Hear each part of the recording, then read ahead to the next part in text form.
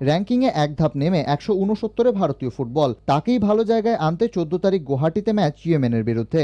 বাছা হয়েছে কুড়ি জনের দল। রাজু গায়কোয়াড়ের পরিবর্তে নতুন মুখ পৈলানের সৌভিক ঘোষ।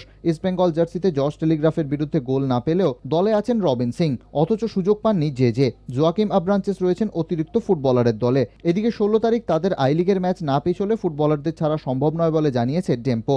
আই লিগের সূচি পরিবর্তন সম্ভব নয়। জাতীয় দলের ডিরেক্টর শুভঙ্কর মুখোপাধ্যায় টেলিফোনে জানান, ফিফার নির্ধারিত তারিখে ম্যাচে ফুটবলারদের ছাড়তেই হবে, নইলে শাস্তি। ফিফা ডেট এটা না ছাড়লে ওরাও জানে ওদের কি অবস্থা হবে আহ, আমাকে তো আর লেখেনি চিঠি লিখেছি কুশলকে কুশল বুঝবো